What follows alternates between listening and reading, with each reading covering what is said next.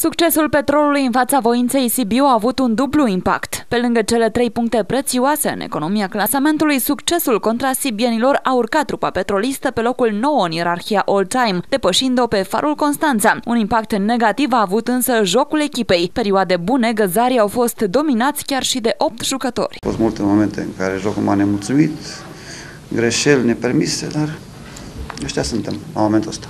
Doi oameni mai puțin, le dai, le dai căruță. Dacă eram uh, Bayern München, da. O explicație ar fi aceea că Petrolul este o echipă care se lasă dominată, iar această tactică uneori a dat roade, dovadă punctele obținute cu oțelul CFR și FC Vaslui.